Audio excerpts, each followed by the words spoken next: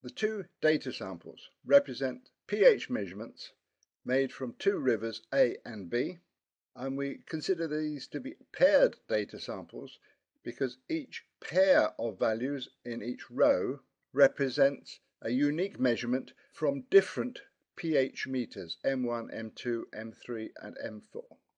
And to compare the mean values, we will use a paired t-test, STAT, basic statistics, paired t-test. We have the samples in different columns and we will put the first sample as river A and the second sample as river B. We are told that the paired t-test actually evaluates the difference between the two samples by taking A minus B in this case. Under options, we could choose the two-tailed test by using the not equal alternative or a one-tailed test either less than or greater than. We will stick with the two-tailed test. Okay, okay. The t-test measures for a mean difference in the pH as being either 0 or not 0, calculates a test value of 3.7 and a p-value of 0.034.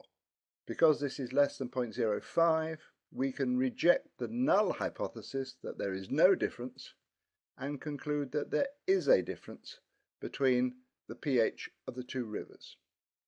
And we are also given the confidence interval for the mean difference, and we're told that it, it is between 0.0169 and 0.223, which is a positive difference.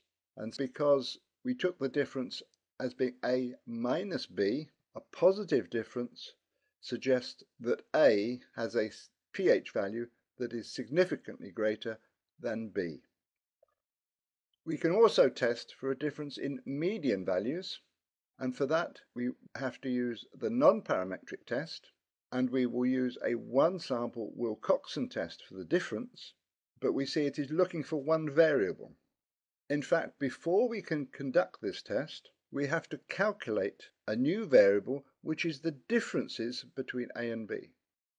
So we will use calculate, calculator, and we will create a new variable which is a minus b which we will calculate as being a quite simply minus b click OK so we have created a new variable which is just the differences between each of these paired variables. And we now have to do a one sample Wilcoxon test to test whether the median value of these differences is equal to zero or not.